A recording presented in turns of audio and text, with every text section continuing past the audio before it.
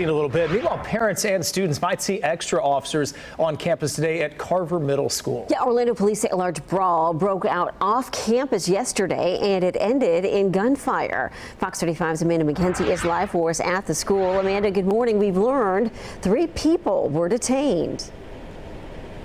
That's right. So they were kept for questioning. You know, right now we are working to confirm whether there will be a larger police presence at and near the school today after that brawl ended in gunfire. Police estimate between 50 and 100 kids were involved in yesterday's fight until a high schooler fired shots. Luckily, no one was hurt and three school resource officers were nearby. A close look at this cell phone video sent to us by a viewer shows a group of young kids walking alongside police cars outside Carver Middle School in Orlando. Skyfox video shows the scene after the chaos erupted in the street.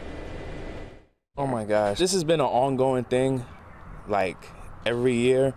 These kids are just out here fighting, fighting, fighting every day. Police say a high schooler fired shots and that they believe the student may have been aiming for a middle schooler. Police detained three students after the incident. Police are asking parents and community leaders to be present after school to help prevent these kinds of incidents from happening. They also are encouraging everyone that if you see something, say something. Officers were able to respond to the scene within minutes. Reporting live in Orlando, Amanda McKenzie, Fox 35 News.